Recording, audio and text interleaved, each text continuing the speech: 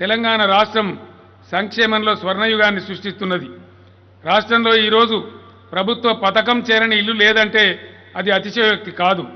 గత ప్రభుత్వాలు ఆసరా పెన్షన్లు కేవలం రెండు వందల రూపాయలు ఇచ్చి చేతులు దులుపుకుంటే తెలంగాణ ప్రభుత్వం రెండు వేల పదహారు రూపాయలు ఇచ్చి నిజమైన చేయూతనిస్తున్నది.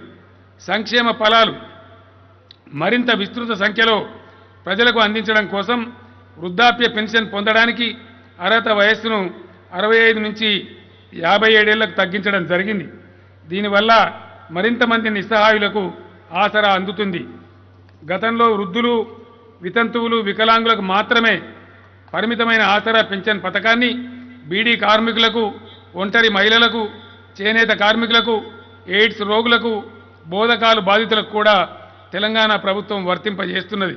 పేదంటి ఆడబిడ్డల పెళ్ళి వారి తల్లిదండ్రులకు భారం కాకూడదని భావించి కళ్యాణ లక్ష్మి షాదీ ముబారక్ పథకాన్ని ప్రవేశపెట్టింది. యాభై ఒక్క వేల రూపాయలతో ప్రారంభమైన ఈ పథకం కింద ఇప్పుడు లక్షా నూట పదహారులు అందుతున్నాయి. ఇవన్నీ ఎన్నికల్లో వాగ్దానం చేసినవి కావు. పేదల కష్టనష్టాలను తెలిసిన ప్రభుత్వంగా మానవత భావంతో అమలు చేస్తున్న పథకాలు ఇవి.